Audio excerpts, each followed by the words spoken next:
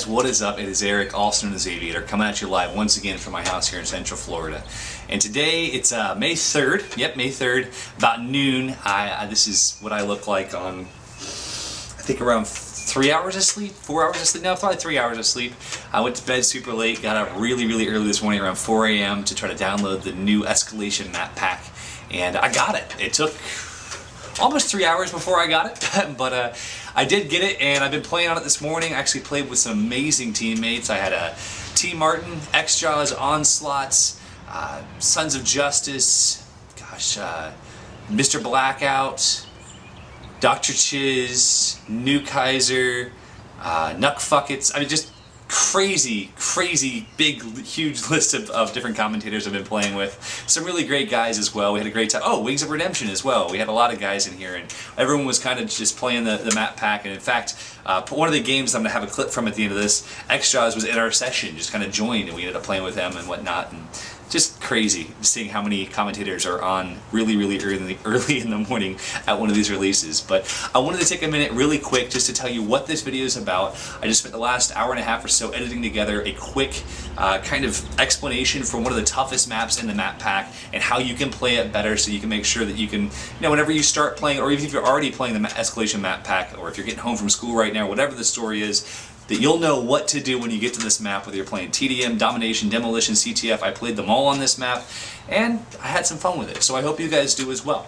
Um, without further ado, and with no more explanation, because I am toasted, so tired.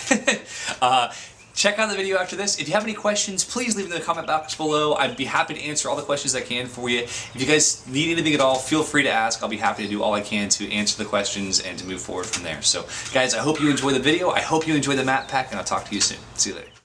Hey guys, it is Eric, also known as Aviator, coming at you live once again to talk to you a bit about the Escalation map pack, and in particular, to talk about the map stockpile. Now, as you guys know from my intro video, I stayed up extremely late last night and got up extraordinarily early this morning in hopes of getting the maps, hopping online with a few friends, and making sure I got some gameplay for you guys, so that when you guys finally download these maps and are ready to play them, you'll have at least a few advantages over most people in the world, as you'll already know what to watch out for and what you can do to counter counter people's evil, evil moves.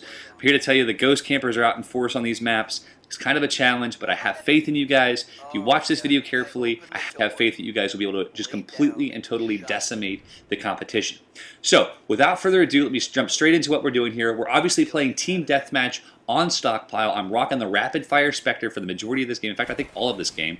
It's not actually the, the gun I would recommend most for this map. I'd probably recommend the FAMAS or some of the kind of longer range weapon. A Commando would be great. Something that's going to be able to be decent up close, but also give you a little bit more range because this map is incredible. In the history of Call of Duty, I can't think of a single other map that is more chaotic than Stockpile. Now, maps like Rust or Nuketown or any of these other maps like even Bog and COD 4, none of those had the different levels and the different lines of sight that, that Stockpile has. Stockpile is a mess. You're going to find yourself getting shot from behind and from the side more times than you can count. And it's only because no one really knows where to go or what to do or how not to flip a spawn yet. Stockpile has the, the spawns pretty much all over the map for TDM. I, I think they flip back and forth about nine times in this game. You're going to kind of get an idea for the chaos that I'm talking about. Now, obviously, by now you see that I've been spending the majority of my time in this central building. Now, the central building is without a doubt one of the most powerful points on the map. And that's simply because everyone's kind of gravitates toward it, just like it's a, there's a magnet in there or something. I swear, it's crazy. Plus, people like to push the buttons that make the doors go up and down. It's kind of a fun little gimmick. I'm sure that'll kind of pass as time goes on, kind of like the zip lines did on, on Kowloon and whatnot. But the central building is incredibly important. Now, as you guys can see, there are multiple levels in the central building. There's a high a high-rise catwalk, there's a secondary level, and then there's the ground floor that's kind of an industrial area. Now, with this in mind, you guys want to make sure that you're either controlling the high ground or you're keeping the other team out of it.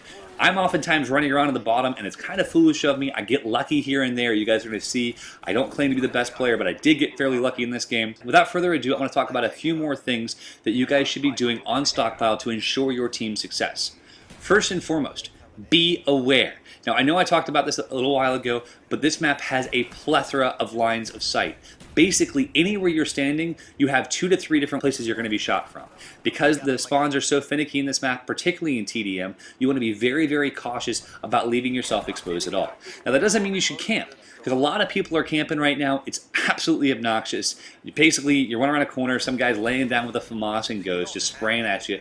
Really frustrating, but you can compete with that. As long as your entire team works an area of the map and allows the other team to come to you, you will succeed at this map. So, what you want to do to succeed on Stockpile. I definitely encourage that your team works the outside edges of the map, especially if you're playing against a stronger team that's trying to lock down that center building themselves.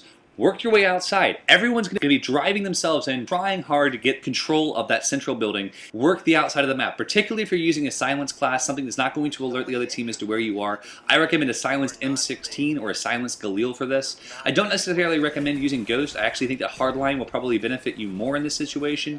Uh, running counter spy planes and spy planes is going to be really, really crucial, particularly in the first few days of this map pack, because people are camping. People are trying really hard to make sure that they can, you know, pull off a couple of decent gameplays on these maps. So work the outside edges as much as you can.